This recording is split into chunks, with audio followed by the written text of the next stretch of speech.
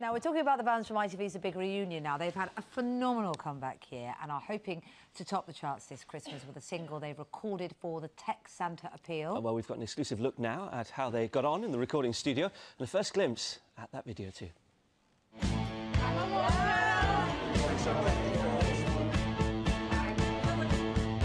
Shake it out, shake it out. What are you going to do? I, I don't rap for you, mate. There's no rap. I might just write one.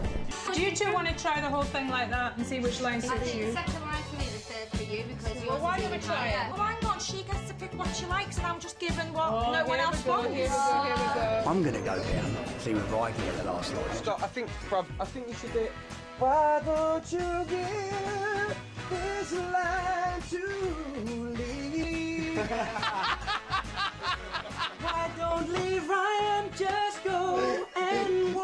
walk off the cliff now. No, it's mad because it's the last time all the big reunion lot will be together, and we've had such a great time. Back in the day, like we've always said on the big reunion stuff, we never get a chance to really appreciate what we did at the time. But today, I think it was about stepping back while you're in the studio and going, "Wow, look at look at what's happening right now. We're doing this song, and it's for an amazing cause." Don't you give your love? what is that Well, what should you do? Why are you delegating to me what I'm doing?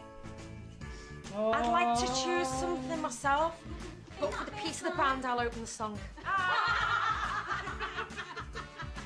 Why don't you give your love Let's It was like being at school with your schoolmates, and we shot our, it's like our first Christmas video. Yeah, and actually, that's the most fun we've ever had doing a video, and it was for charity. Brilliant. It's like two birds, one stone. I wish it could be Christmas every day.